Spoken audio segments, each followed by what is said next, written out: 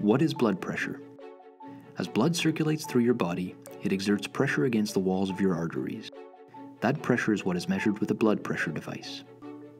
Blood pressure is measured by two numbers. The top number is called systolic and measures the pressure in your arteries when your heart is pumping. The low number is called diastolic and measures the pressure in your arteries when they are resting and refilling. High blood pressure is something you need to avoid in order to keep your heart and arteries healthy and clear of any cardiovascular disease. Blood pressure is always best measured at rest. Ideal blood pressure is 120 over 80. Your blood pressure should be less than 135 over 85 in the comfort of your home and less than 140 over 90 elsewhere.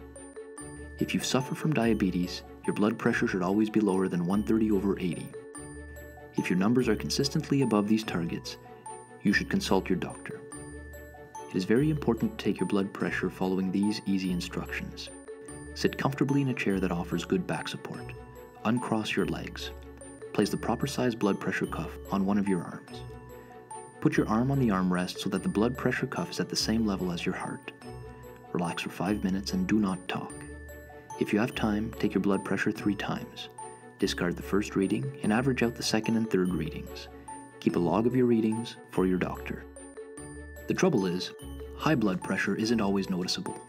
Sometimes called the silent killer, people can go years with high blood pressure and never know they have a problem. High blood pressure makes your heart work a lot harder than normally and causes added strain to your artery walls.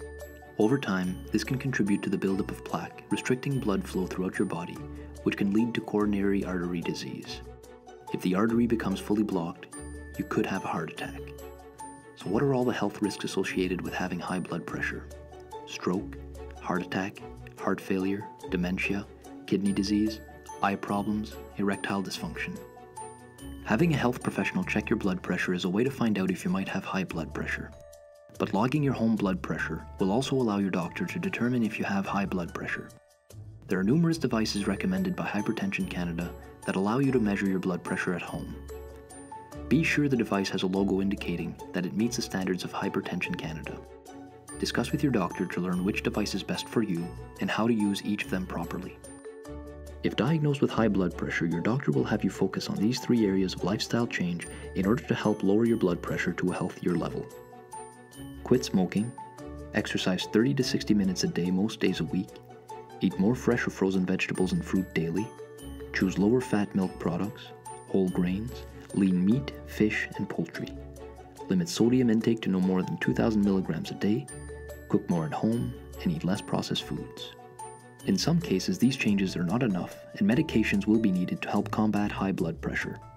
If you have any questions or would like to learn more, help is just a click away.